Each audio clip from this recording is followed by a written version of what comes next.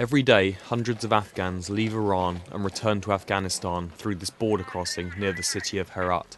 Some are reuniting with their families or are driven by economic pressures, but a huge number have simply been forced to leave by Iran. Earlier this year, Tehran threatened to expel Afghan refugees and migrant workers in response to a strategic security arrangement between Afghanistan and Iran's arch rival, the United States.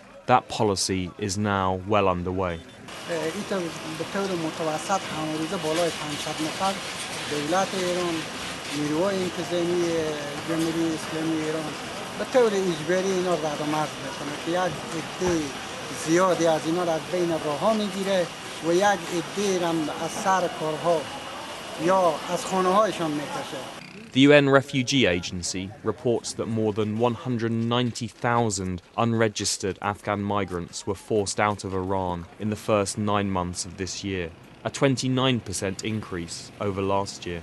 While Afghan officials support the voluntary return of refugees and labour migrants, they say Afghanistan might not be ready to receive the current influx.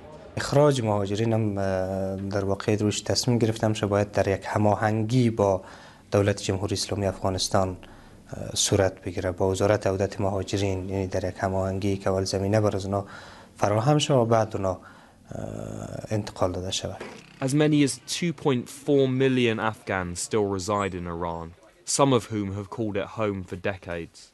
Those who return to Afghanistan, by choice or not, say that the economy might make all the difference in easing the transition. از دولت تقاضا داریم که همین جوانه ما را افغانا را همه رو یک کار براش بدن. بعد مشکلات زیاده دیگه باید جوان همشون کار پیدا کنن